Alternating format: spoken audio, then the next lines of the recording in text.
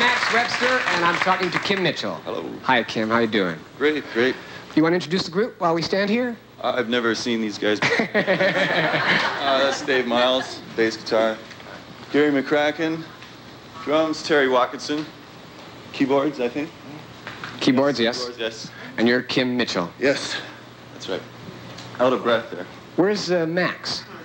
Uh, he doesn't exist. He appears on all of our checks, but uh, There is no Max. Oh, no. How did you get? Uh, how did it? Uh, so? How so? How did so Gentile a group get so Jewish a name? we clap a lot. No, uh, basically it was just when we started six years ago, we just wanted somebody's name, like some bank or something like that, and because it was like Kiss, Le, Le, you know, all that stuff. So uh, I'm sorry. I don't, okay. I don't think anything you said was heard, Kim. Would you introduce the group? No, that's not necessary. I, I, let me ask you this: When you guys have to do something like this, you're, you're obviously very good, and uh, you know I've been hearing a lot about you. Fooled you again, right? No, no, I, no, I wasn't surprised. I don't judge by clothes or anything like that. The thing is, My height, so that, you think I'm self-conscious about my height? When you're as sexually successful as I am, you don't worry about that. Kim, the point is this. Do you have to think a lot about a name when you start? You know you have the talent. You know you've got the group. I mean, the name... it's no deeper than just a name. It's nothing cosmic. It's nothing heavy. It's just Max Webster. It could have been, uh, David Steinberg. yeah, really. For the next album, do you think?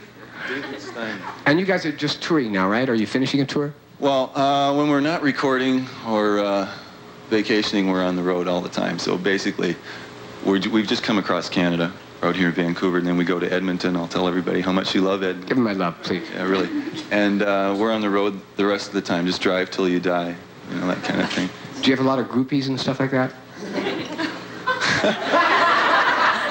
Uh, Just you personally, not the rest of them. We, we shouldn't say that, you know. You shouldn't? No. Uh, yeah, we got thousands, man, just thousands. Good. And do you do a lot of dope? You guys do a lot of dope? No. Nope. No. No. Coke?